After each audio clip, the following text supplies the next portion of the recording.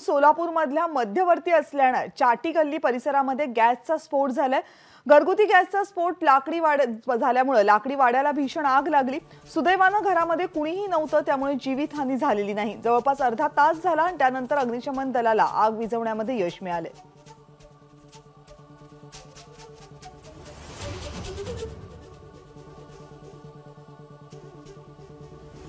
या सगळ्या संदर्भातली अधिक अपडेट जाणून घेऊयात. आपले प्रतिनिधी आफताब शेख सध्या आपल्यासोबत आहेत. आफताब ही दृश्य भयंकर आहेत. खूप मोठी आग आहे. बघ्यांची गर्दी मोठी आहे. आत्ताची नेमकी काय परिस्थिती आहे? कविता मी सध्या घटनास्थळी आहे. सोलापुरातला मध्यवर्ती भाग आहे हा चाती गल्ली. आणि या ठिकाणी जवळपास ऐंशी ते शंभर वर्ष जुने हे वाडे आहेत सगळे. खाली सिमेंटचा बेस कॉन्क्रीटचा दगडांचा बेस असला तरी वरती जे आहेत ते सागवानी लाकूड असलेले हे सगळे घर असं दिसत आहे. जवळपास आजूबाजूला चिटकून सहा ते सात असे मोठे वाडे आहेत.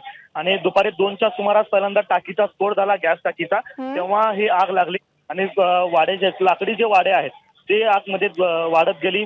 वारा मोठ्या प्रमाणात होता. त्या कारणानं समोरच्या एका घराला देखील झळा त्याच्या लागलेल्या आहेत. डॉक्टर अब्दुल कुरकर यांचं हे घर असल्याचं सांगितलं जात आहे. जुना वाडा असल्या कारणानं सुदैवानं घरात कुणी नव्हतं. आज रंगपंचमी असल्या कारणानं त्यांचे जे दुसरं घर आहे त्या ठिकाणी सगळे नातेवाईक जे ते गेलेले होते त्यामुळे सुदैवानं या घरामध्ये कोणी नव्हतं. आणि लागलीच लोकांना कल्पना आली की आग भरकत आहे. त्यामुळे लोकांनी इथून बाहेर पळ काढला. त्यामुळे सुदैवानं जीवितहानी जी ती कोणतीही झाली नाही. अग्निशमन दलाने जवळपास अर्ध्या तासामध्ये आगावरती नियंत्रण मिळवलं. मात्र जवळपास दोन तास झाले असले तरी आग पूर्णपणे विजली असं म्हणता येऊ शकत नाही.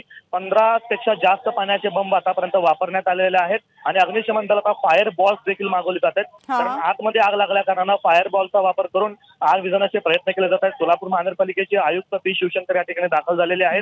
सोबतच आतमध्ये जी आग लागलेली आहे छोट्या छोट्या बोळ असल्या कारणानं पाण्याचे बंब जे आहेत ते आतमध्ये पोहोचू शकत नाहीयेत. त्यामुळे अग्निशमन दलाला थोडेसे अडचणी देखील येत आहेत. मात्र या अडचणीवर मात करत फायर बॉलचा वापर करून आग विझवण्याचे प्रयत्न जे आहेत ते अग्निशमन दलातर्फे केले जातील. कविता. निश्चितच प्रयत्न सुरू आहेत. आग मोठी आहे आणि अडचणी अनेक आहेत. आगीच्या पर्यंत पोहोच पोहोचण्यासाठी सुद्धा अग्निशमन दलाला प्रचंड अडचणींचा सामना सध्या करावा लागतोय. आफताब धन्यवाद या अपडेट्सबद्दल.